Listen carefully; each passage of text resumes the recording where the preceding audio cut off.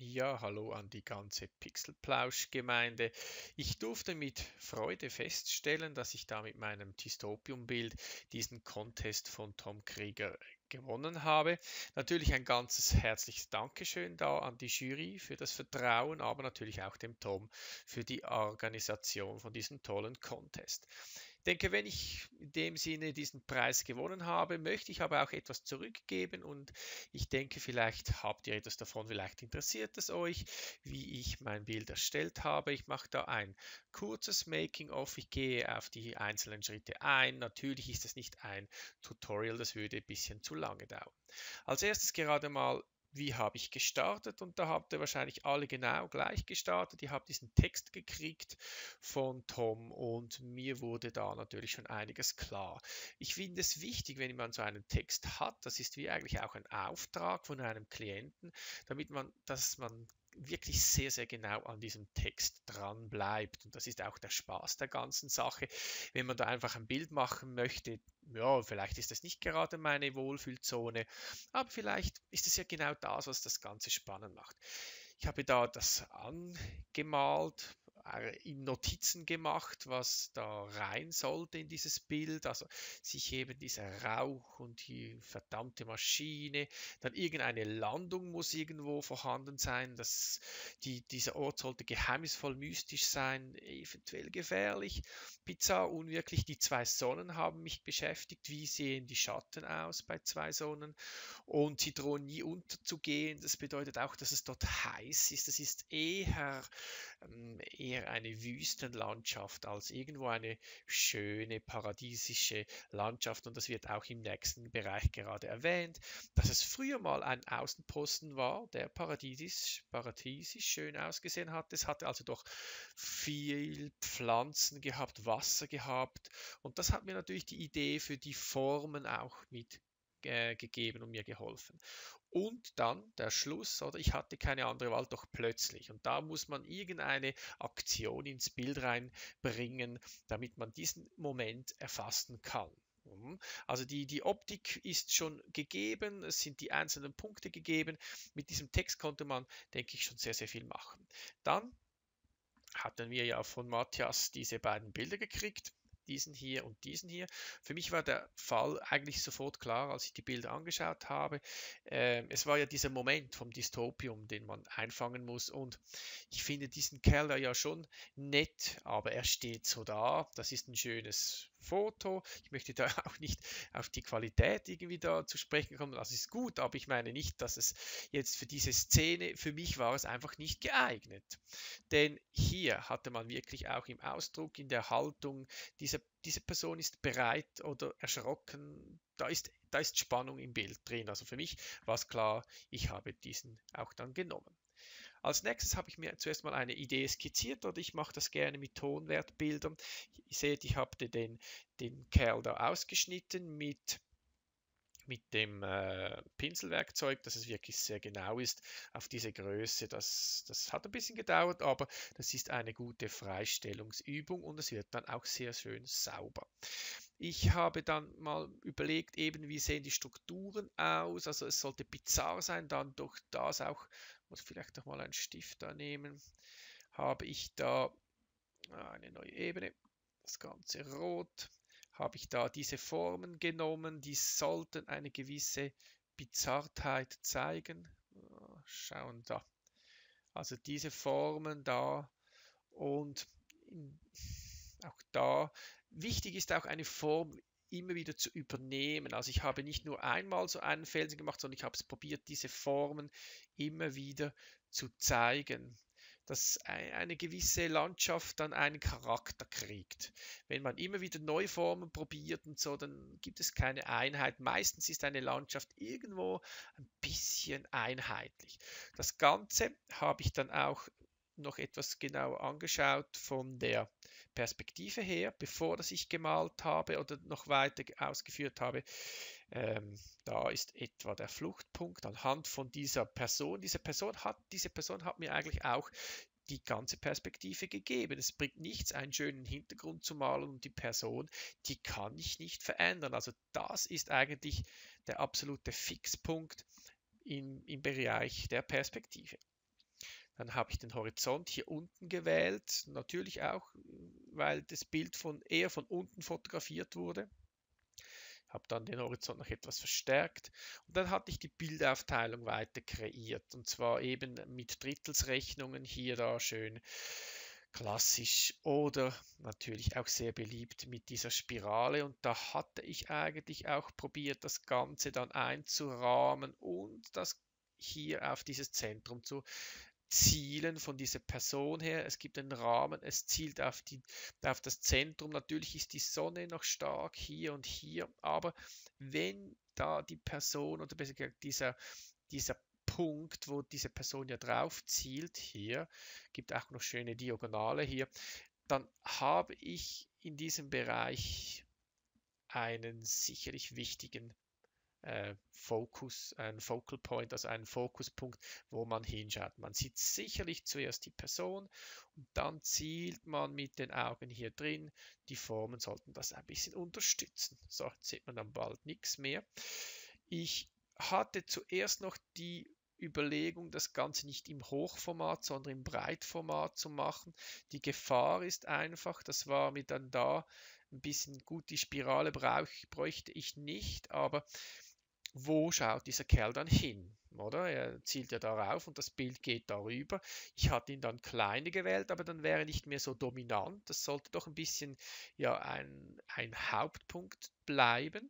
Ich hatte mir dann ein bisschen auch überlegt, ob ich vielleicht hier da muss ich doch nochmals zeichnen, einfach nur den Fuß zeige von einem Riesending. Das hätte man eher in die Breite ziehen können, aber ich habe dann das verworfen und gedacht, warum nicht auch so ein bisschen die Höhe ausnutzen, wenn ich schon diese Vorlage gekriegt habe. Die Tiefenstaffelung habe ich probiert zu zeigen mit diesem Tonwertbild, also sprich nach in die Tiefe werden die Kontraste immer feiner tendenziell wird es immer in den äh, Grundfarben immer heller. Natürlich gibt es dann im vorderen Bereich auch große Kontraste, helle Töne, aber die Tonwerte des Bildes, also eigentlich das Schwarz-Weiß-Bild, sollte gegen hinten immer heller werden und das kriegte ich da die nötige Staffelung. Auch zu hinters wollte ich irgendwo noch diese ehemaligen Außenposten definieren. Da habe ich einfach mal mit einem Pinsel eine Struktur reingetan. Ihr seht dann aber auch, dass es zum Teil wieder nicht ganz so ausgesehen hat am Schluss. Aber ich konnte mir schon etwas vorstellen und der Vorteil ist, dieses Bild in diesem Zustand hat eigentlich schon funktioniert für meinen Geschmack. Das heißt, was jetzt dazu kommt, ist nur noch Kosmetik. Ich bin dann mal ein bisschen recherchieren gegangen betreffend den Farben. Da natürlich unweigerlich bei zwei Sonnen kommt man aufs Bildern von Star Wars. Hier ein schönes Matte Painting übrigens. Und auch was mich interessiert hat, ist vor allem auch die Licht Idee. Natürlich, die sind jetzt tiefer, die Sonnen bei mir sind etwas höher, weil ich wollte ja diese, dieses Brennen haben. Aber wenn ich genügend, das sieht man auch hier schön, genügend wie soll ich sagen, Atmosphäre hat, dann ist die Sonne nicht so direkt, als dass es irgendwie, da sieht man auch keine großen Schatten und dann habe ich auch die Problematik mit diesen zwei Schatten, die es geben kann, weil die zwei Richtungen der Sonnen zwei verschiedene Schatten geben sollten ähm, die ist dann ein bisschen abgemindert. Mir ging es hier aber auch noch um die Farben und auch was ich wollte, ist vielleicht ein bisschen gegen die, den Horizont runter, vielleicht noch ein bisschen Blautöne drin. Da haben wir diese Bilder sehr, sehr geholfen. Dann ging es äh, noch einen weiteren Schritt darum, jetzt muss ich da gucken, dass ich das Richtige habe, die Strukturen zu wählen. Ich habe hierzu, äh, ihr seht da, ich habe da bereits ein bisschen begonnen, ähm, das ist genau dasselbe hier. Da habe ich äh, zuerst mal eingefärbt, diese, diese einzelnen Ebenen. Ich habe auch diese einzelnen Ebenen alle ausgeschnitten mit dem Laserwerkzeug und auf verschiedene Ebenen getan. Also diese Berge sind alle in einer, in einer eigenen Ebene, das zeige ich Ihnen gerade. Aber zuerst nochmal zu diesen Strukturen. Ich wollte Fototexturen natürlich nehmen, das geht nicht anders in diesem, in diesem Detailgrad.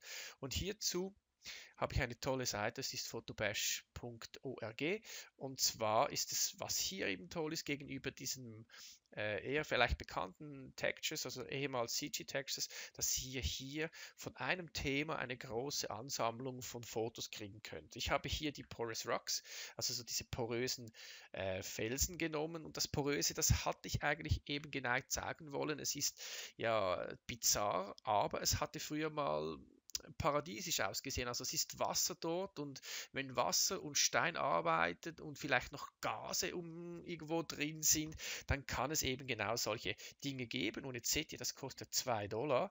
Und wenn ich die auf den Preview drücke, dann seht ihr die 120 Bilder. Und das ist ein ganzer Satz für 2 Dollar und es sind 120 Bilder und der Vorteil ist, man hat sehr, sehr ähnliche Bilder, sehr, sehr ähnliche Texturen, aber immer von anderen Ansichten. Und genau das wollte ich ja. Wenn ihr nur zwei, drei Fotos habt, und ihr möchtet ein solches Bild texturieren, dann habt ihr zu viele Wiederholungen. Ihr seht die Strukturen, seht ihr immer und immer und immer wieder. Und das wollte ich vermeiden. Und das kann man vermeiden, wenn man so ein Pack kauft, wie dieses zum Beispiel, für schlappe 2 Dollar und man darf sie auch äh, kommerziell nutzen. Und da habt ihr wirklich, da seht ihr diese Form und diese Form und diese Form, die sind sehr ähnlich in der Art, aber natürlich könnt ihr die immer und immer wieder verwenden in verschiedensten Varianten und ihr habt keine Wiederholungen. Und das finde ich wirklich ganz, ganz wichtig, wenn man mit Texturen arbeitet, dass man, auch wenn man selber Texturen fotografiert, dass man nicht einen Felsen einmal fotografiert, sondern vielleicht 300 Fotos macht. Und das findet vielleicht die Frau oder die Freundin oder der Freund auch immer sehr langweilig, wenn man dann zu Hause die Ferienfotos anguckt und man hat 1200 Fotos und 1150 Fotos sind irgendwelche Texturen und 50 Mal ist dann die Familie drauf. Das, das muss man dann argumentieren und erklären oder vielleicht gerade am Anfang weg. Ich, ich verliere mich da. Also, die Texturen sollten nicht zu eng sein, aber wenn man immer dieselben hat, ist es einfach sehr viel besser.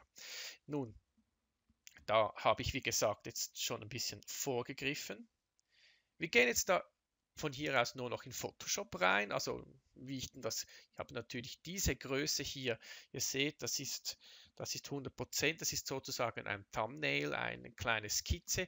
Ab hier arbeite ich, seht ihr auch hier unten bei 12,5% mit dem großen Format. Die Texturen, die sind jetzt natürlich hochauflösend. Ich habe also hier meine Ordner gemacht und ich bin ein Fan von sehr äh, genauen Ordnerstrukturen. Natürlich sieht das jetzt noch wenig aus, aber wenn ich da die Felsen auftue, da seht ihr, habe ich da links 1, links 2, Brücke 3, äh, rechts 4. Das sind immer so verschiedene einzelne Felsen, die ich auf Ebenen platziert habe und dann in Ordner natürlich verpackt. Ich möchte das Beispiel jetzt an einem Felsen zeigen, wie ich die Brücke 3, das ist eben da diese Brücke, das ist der ganze Bereich von links nach rechts. Ich habe also diese Schwarz-Weiß-Bilder eingefärbt, immer mit Hilfe von einer Tonwertkorrektur, indem ich einfach da die Sättigung, nein, es ist nicht eine Tonwertkorrektur, sondern Farbton-Sättigungskorrektur. Mit dem kann ich immer gucken, dass mir die Tonwerte nicht weggehen. Also ich nehme einfach die Farbe raus und das sieht dann auch schwarz-weiß immer noch gut aus. Sprich, ich habe jetzt also das eingefärbt mit einer Grundfarbe und habe dann die verschiedenen Ebenen gefüllt mit Texturen und ihr seht, ich habe viele Texturen verwendet, weil man sollte ein bisschen flexibel bleiben. Dann habe ich auch immer hier, seht ihr, Ebenenmasken erstellt und nur von hier bis hier hatte ich schon ganz viele Fototexturen verwendet. Bis jetzt ist es okay. Natürlich ist jetzt hier, wenn ich die Tonwert äh, wieder einpacke, reinpacke, das ist nicht so die Tiefe, die ich wollte. Also die Tonwerte stimmen noch nicht, auch von den Details. Das sind zu viele Details. Für so eine Distanz sind es zu viele Details.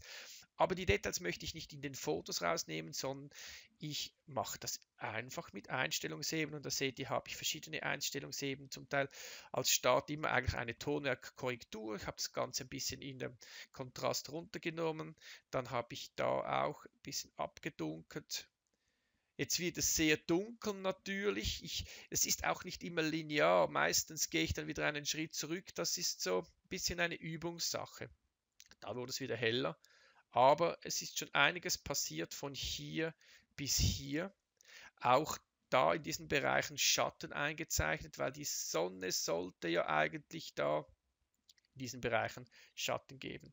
dann weiter das Ganze mit einfach einem weichen Pinsel zurückgedrückt. Ich habe da einfach eine neue Ebene genommen und mit einer hellbraunen Farbe das Ganze mit der Schnittmaske natürlich etwas weniger kontrastreich gestaltet und übermalt. Und das Schöne ist, diese Ebene kann man natürlich jederzeit auch wieder reduzieren und das ist ein Spielen. Das gibt nicht eine Regel, wie weit dass man da weiter muss. Und es ist auch nicht so, dass das beim ersten Mal klappt. Solche Felsen, die, die gehe ich immer wieder weiter weg, wieder zurück, wieder hin und zurück. Also das ist ein, das geht nicht aufs erste Mal. Das braucht eine Zeit. Das ist wie ein, ein Bildhauer. Man kann nicht das letzte Detail aufs erste Mal reinschlagen. Man muss immer wieder zurück, nahe, immer wieder näher ans Bild ran, bis man es hat, das einem gefällt. Und dann zum Schluss noch Licht reingetan. Und so habe ich natürlich all diese Felsen gemacht. Da muss ich natürlich nicht alles weiter hinzufügen. Dann habe ich mir diese Person dann mal vorgenommen. Natürlich, diese Person ist immer wieder gekommen, auch vom Platz her. Das sind die Figuren. Da habe ich da meinen Fighter da seht ihr eigentlich von der Größe her, ich habe ihn auch einen Ort getan, den er etwa, ja, den, der gut ist, auch vom Bild, von der Bildgestaltung her. Und auch da musste ich einiges natürlich erledigen, dass das besser reinpasst. Ähm, auch muss ich jetzt nicht alles erklären mit Einstellungen eben und das heißt nicht, dass die alle nötig sondern, sind, sondern ich habe mich einfach da immer weiter ans Ziel rangekämpft und äh, es hätte vielleicht auch weniger mit weniger gereicht, aber das ist eben die, die, diese Prozessarbeit. Das ist jetzt nicht äh, ein fertiges Photoshop-Dokument für den Verkauf, sondern das ist, sollte eigentlich meine Arbeit zeigen. Wir sind da schon, da seht ihr schon auf ein paar hundert Ebenen am Schluss, aber das ist, ja, denke keine Leistung, viele Ebenen zu machen, sondern äh, Ziel ist, dass es am Schluss möglichst gut aussehen tut probiert, dass es möglichst gut aussehen tut. Also ich habe das angepasst vom Licht her, jetzt müssen die Sonnen da rein, habe ich die genommen. Die bestehen einfach aus zwei Ebenen. Ich habe jeweils einen Kreis gemacht und dann noch ein bisschen Schein rundherum, auch hier. Okay, jetzt beginnt es schon mehr zu leben und jetzt musste ich einen weiteren Schritt gehen, denn bis jetzt hatte ich in Photoshop gearbeitet und ich wollte ja eine Kreu, äh, Kreatur haben. Diese Kreatur ähm, habe ich dann in ZBrush erstellt, weil es sich eignet und diese Kreatur sollte auch die Eigenschaft haben, ein bisschen diese Welt zu zeigen. Also es ist eine verlassene Welt, eine kaputte Welt für Tiere vielleicht nur noch möglich, indem sie sich auch dementsprechend mutiert haben. Und dazu habe ich dann so eine in ZBrush äh, eine vogelähnliche Kreatur gemacht.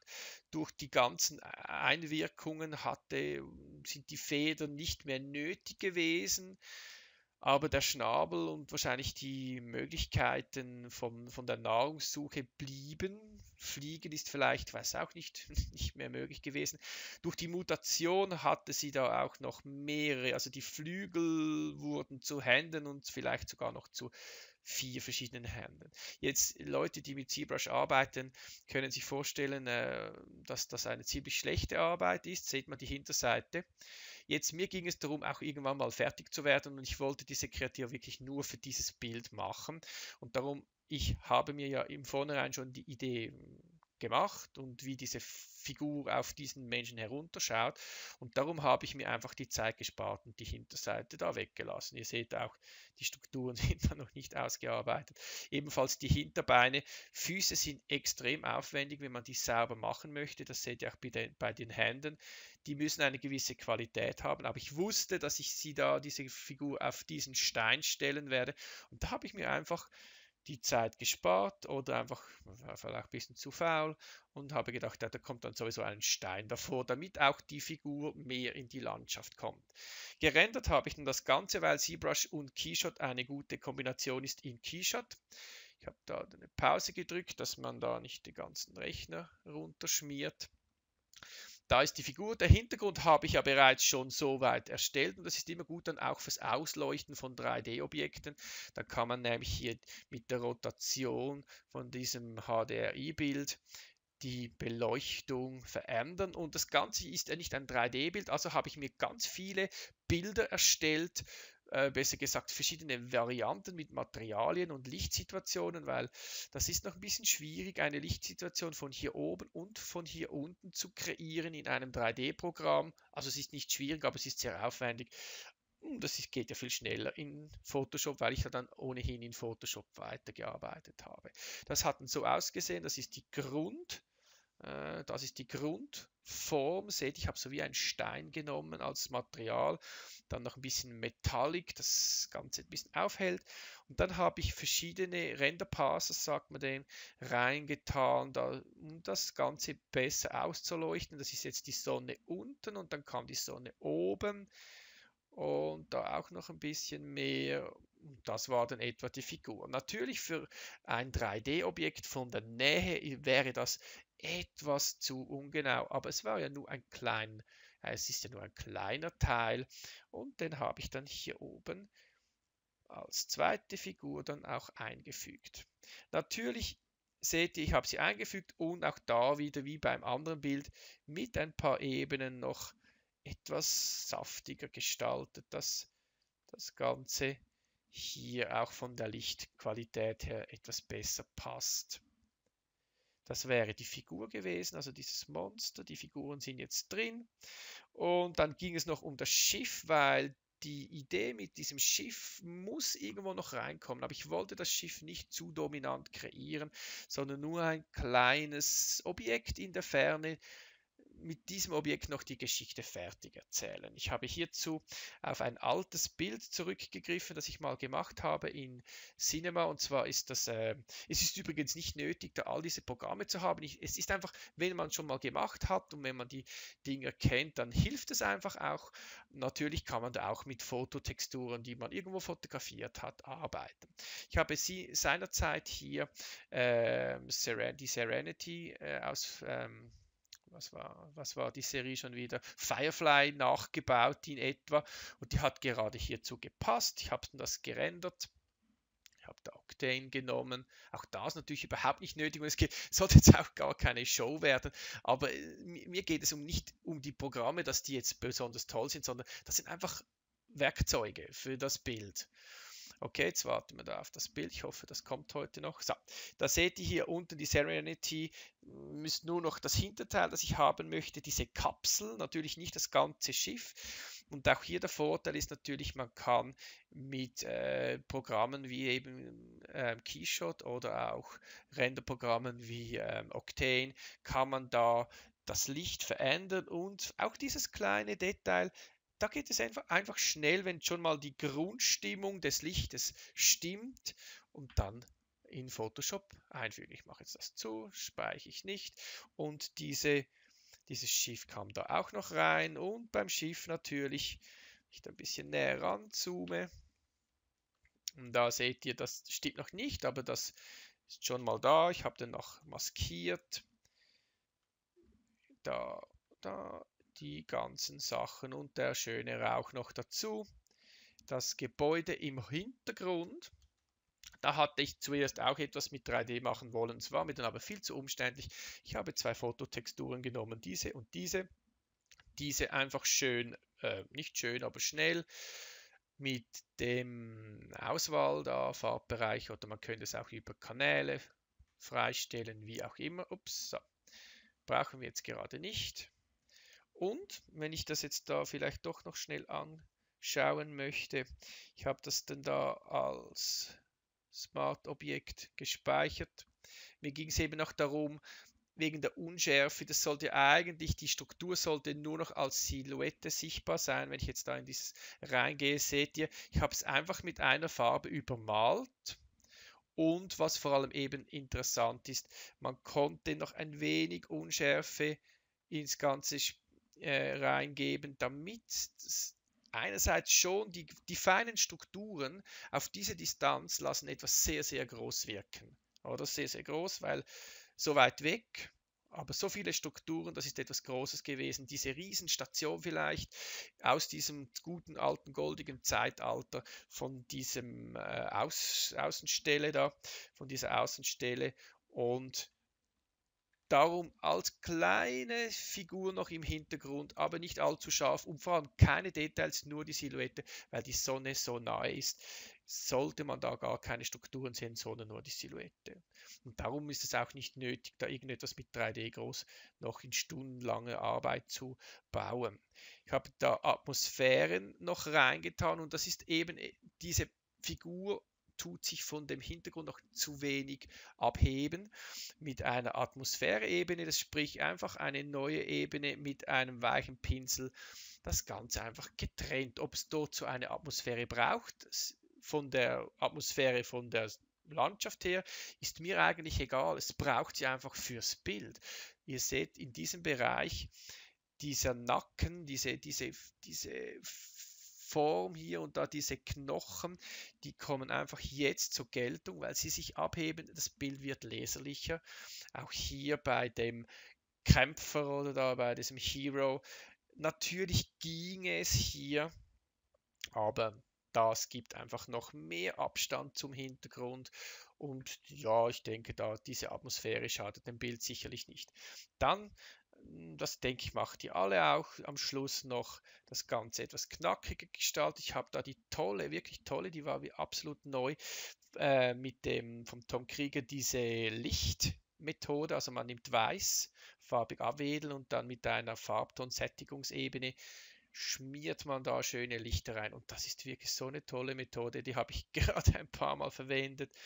Dann zum Teil noch etwas korrigiert denke, da muss ich nicht alles durchgehen. Color Lookups und das war's dann auch zum Schluss. Das ganze Bild, für das ganze Bild hatte ich etwa sechs Wochen Arbeit. Natürlich habe ich nicht sechs Wochen durchgearbeitet, sondern dieses Bild hatte ja absolut Zeit. Also wir mussten ja nicht das Ganze in zwei Tagen raufladen. Äh, und dann ist es mir immer wichtig, dass ein Bild auch wachsen kann. Und oftmals schaut man es einen Tag später an und denkt, na, das ist nicht so gut. Und wenn man dem Bild genügend Zeit gibt, dann kann es auch reifen. Und dann oftmals ist man nicht so sicher. Aber eine Woche später merkt man, doch, genau, das ist es. Oder eben, das ist es überhaupt nicht gewesen. Also, wenn ihr wieder mal so etwas macht, ich empfehle euch immer, nützt die Zeit, die ihr bekommt und legt das Bild weg nehmt es wieder mit frischen Augen hervor und lasst euch auch nicht stressen, auch wenn ihr mal ein Bild halt ein paar Stunden mehr braucht. Es lohnt sich, es macht einfach viel mehr Spaß, wenn die ja, ich denke, wenn ihr auch selber zufrieden seid. Diese Techniken, die ich hier angewendet habe, natürlich 3D geht ein bisschen weiter, aber die ganzen äh, Felsen, äh, wie, wie, soll ich sagen, die ganzen äh, Texturierungstechniken, das sind eigentlich Photoshop-Techniken, die Photoshop, man muss Photoshop bis, nicht bis ins letzte Detail kennen. Das sind Einstellungsebenen, das ist, das ist mehr eine Übungssache, ein Gefühl für die Texturen haben und es muss nicht ein riesen Technikfreak dahinter stehen. So, Jetzt habe ich lange geschwatzt, ich weiß gar nicht, wie lange es war, aber ich hoffe, ich konnte euch ein bisschen etwas zeigen. Vielleicht habt ihr auch etwas noch Neues dazugelernt. Gerne kann ich auch Fragen beantworten schreibt sie mir per Mail oder in Facebook, wie auch immer. Äh, ja, ich freue mich wirklich, dass das äh, Bild einen tollen Anklang gefunden hatte. Und wie gesagt, allen eine gute Zeit und dem Tom einen lieben Gruß.